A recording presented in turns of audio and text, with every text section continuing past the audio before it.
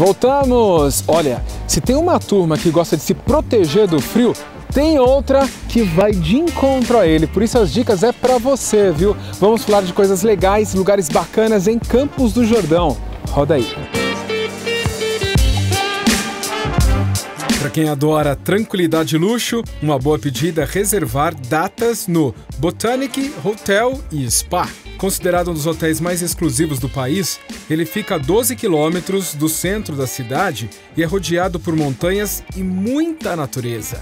São apenas seis quartos e 11 bangalôs.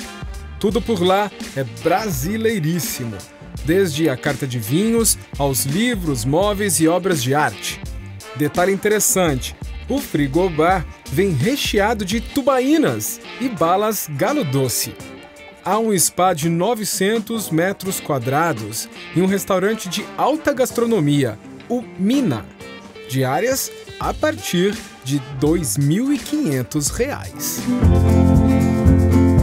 E vale tirar uma tarde para conhecer o projeto Mãos Tiqueiras, que pretende resgatar a cultura de lã 100% natural mantas, bonecas, objetos de decoração e até dreads para o cabelo podem ser encontrados na lojinha.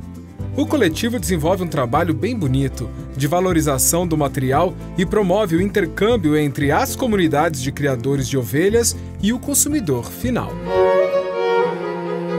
E para encerrar, nada melhor do que um concerto de música clássica.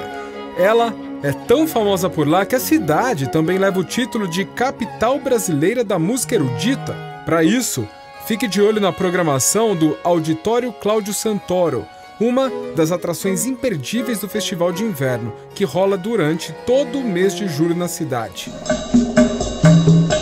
Campos do Jordão.